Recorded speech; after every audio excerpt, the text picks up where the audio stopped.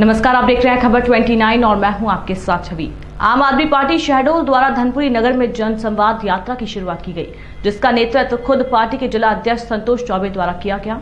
संवाद यात्रा में ग्रामीण जिला अध्यक्ष हीरा लाल विश्वकर्मा, शहडोल जिला मीडिया प्रमुख अनूप शर्मा धनपुरी नगर के कार्यकारी अध्यक्ष साकर मास्टर। वार्ड नंबर 16 धनपुरी की संभावित पार्षद उम्मीदवार मेहरून निसा और सैकड़ों कार्यकर्ता और पदाधिकारी उक्त यात्रा में उपस्थित रहे।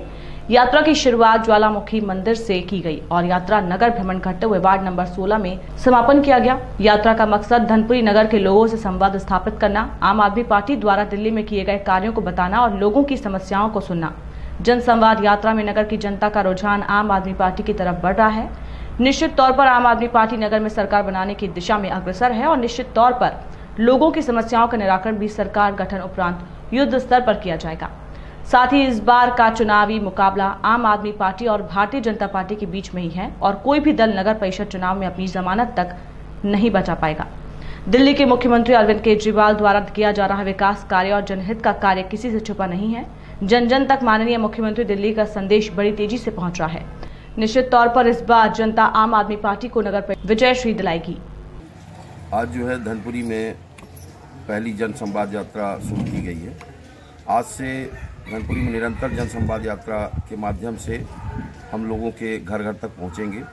लोगों की समस्याओं से रूबरू होंगे और उनकी समस्याओं को हम लोग जो है अपने रजिस्टर में लिखेंगे और उन समस्याओं को हम अपनी मैनिफेस्टो में, चुनावी मैनिफेस्टो में शामिल करेंगे।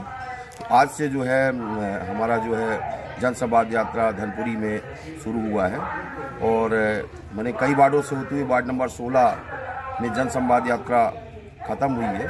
जन संवाद यात्रा हमारी जो यहाँ की प्रत्याशी वार्ड नंबर 16 की मेहरम निशा जी, संभावित प्रत्याशी हैं, उनके वार्ड में पूरे वार्ड में जो जन संवाद यात्रा गुजरी है और लोगों का अच्छा समर्थन मिला है।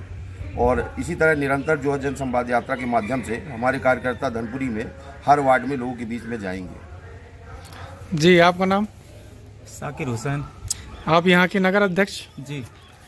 तो आपके क्या है विचार? विचार क्या है? यही है सब बदलाव लाना है और वार्डों को सजाना है और केजरीवाल को लाना है।